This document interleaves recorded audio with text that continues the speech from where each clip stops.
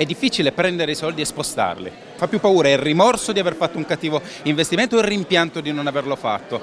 Queste cose anche sono da conoscere, oltre a sapere razionalmente no, che, come è meglio investire i propri soldi. 250 studenti aretini a lezione di cittadinanza economica ed uso consapevole del denaro. Nel mese di ottobre sono infatti tornati anche ad Arezzo le giornate dell'educazione finanziaria. Gli spiegheremo che i soldi sono uno strumento che loro già gestiscono non sempre lo fanno in maniera perfettamente consapevole e quindi gli faremo vedere quando e in che modo delle volte pensiamo di essere razionali nelle scelte legate al denaro e non lo siamo. L'evento, ospitato alla Borsa Merci, fa parte del vasto programma che la Fondazione per l'Educazione Finanziaria e al Risparmio, in collaborazione con Ubibanca, mette a disposizione delle scuole a livello regionale.